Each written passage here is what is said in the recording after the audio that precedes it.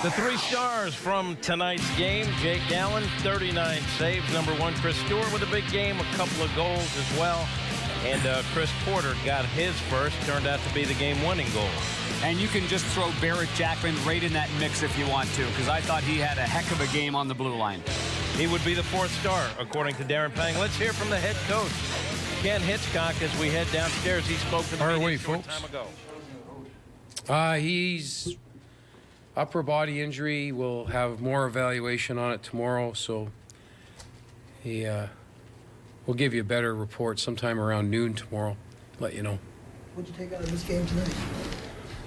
Uh, we played with a lot of heart. We hit the wall.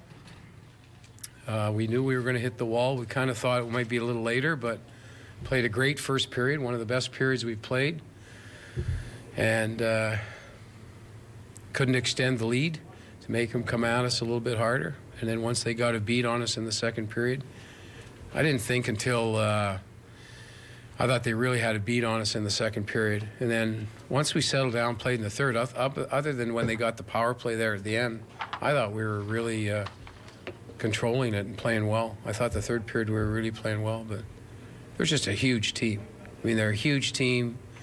Uh, you know, they play Burns up front. It's just size and weight coming after you every shift. And I thought for what we had and the way we managed it, we did a great job. But we needed the goalie in the second period. Came through for us. And, uh, you know, we needed our best players to be our best players. Stewie gets two today. Backes was a horse. Berglund was a horse. We're missing five forwards, almost half your hockey club. And still we get the win. It's a good sign.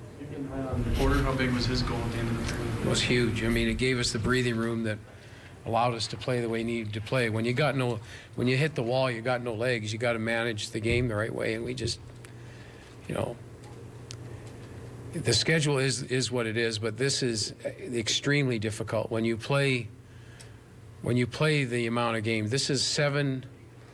This is seven games in 12 nights with a lot of time travel. And it's a very, very difficult schedule. I've never seen a schedule this difficult ever. And uh, we still managed to, to come out of this thing okay. So Hitch talking about a, an obviously rough stretch for the Blues, saying that they hit the wall in the second period. He knew they would at some point, but he said they played with a lot of heart. I would say that's a fair assessment. You got to play with gumption.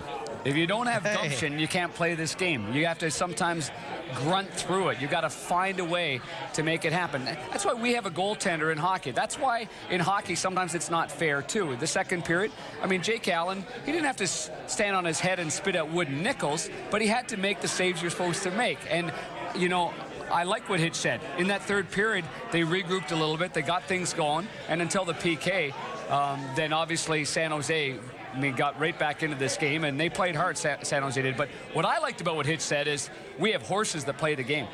He said we had two horses out there, two Backes, Clydesdales. Backes was one of them. From mm-hmm. Anheuser-Busch. That's what we had. Huh? Here's something else. We'll have more from Panger when we come back.